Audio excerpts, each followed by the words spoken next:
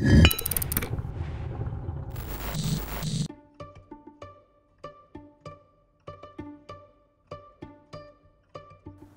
אני משתגע.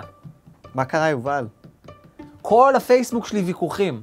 האם האפריקאים הם מהגרי עבודה שצריך לגרש, או פליטים שברחו ממדינות מסוכנות? זה... ראית את הסרטון של ביבי? לא, איזה סרטון? בוא אני אראה לך.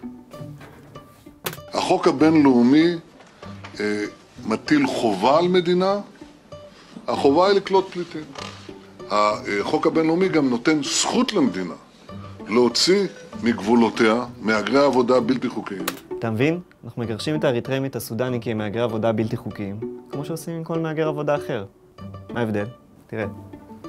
לדוגמה, בשנים האחרונות הוצאנו 5,000 אוקראינים וגיאורגים למדינות המוצא שלהם. אתם ידעתם את זה? מה אמרתי לך? כן.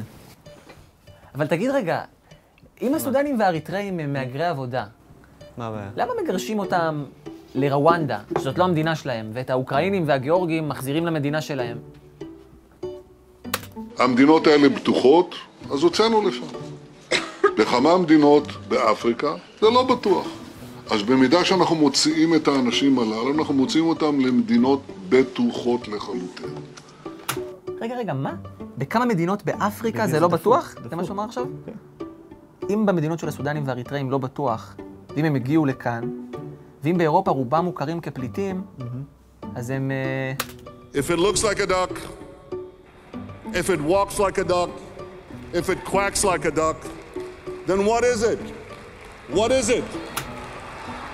That's right.